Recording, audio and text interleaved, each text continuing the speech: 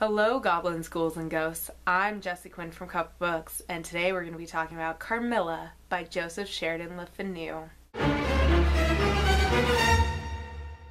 Carmilla is a gothic novella written by Joseph Sheridan Le Fanu, and it was first published in 1872. Carmilla wasn't the first piece of vampire fiction. Oh no, no. There were a few other stories that predated Carmilla, but Carmilla is interesting in the fact that it does predate Dracula by 25 years, and many people speculate that Bram Stoker was actually influenced by Carmilla. From what I could gather from some reputable sources on the internet, this is not a known fact there's no actual solid evidence that Bram Stoker ever read Carmilla, but the similarities are there.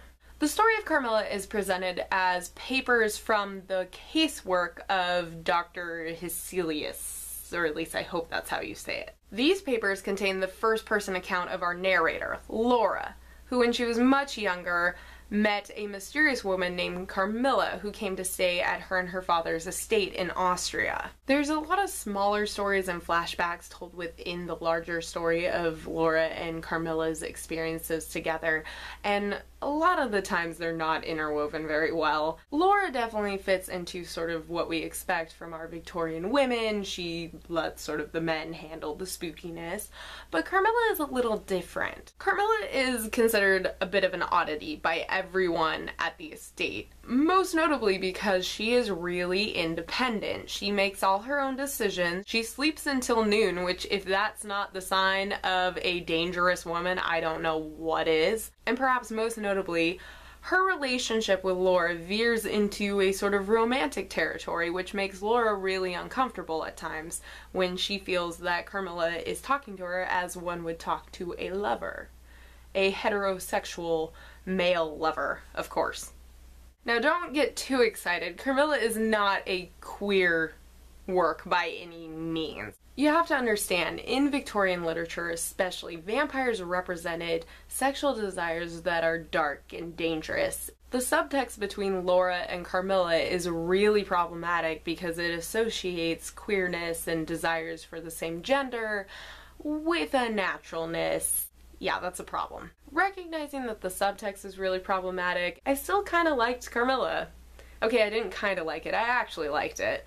I actually really like Carmilla as a character. She's very independent. She's not a minion. She's not a lackey. She doesn't try to submit to the rules of the household. She does what she does and she doesn't make any excuses for it that's really cool. There's a lot of atmosphere in this novella which I think works in its favor. There's a slow building tension between the two women that is engaging. When I look at the history of vampire literature, I can't help but appreciate Carmilla's place in it. Earlier vampire novels before Dracula mostly focused on the relationships between people of the same genders. The novel that became most well known in classic vampire literature is Dracula, and it heterosexualize the genre. It's really depressing that Carmilla's only legacy is a lesbian vampire trope in popular culture today because the lesbian vampire trope is about male fantasies. It's not about writing well-written queer women and telling their stories. No, no, no. It's about male fantasies. Perhaps the most faithful book to film adaptation of Carmilla is The Vampire Lovers, which was made, I believe, in the 70s. And I can describe it in two words male gaze. Oh yeah, it's bad. Now the question remains, would I recommend Carmilla? And my answer is yes, I would. I think Carmilla is a very interesting read, particularly if you're a fan of vampire literature.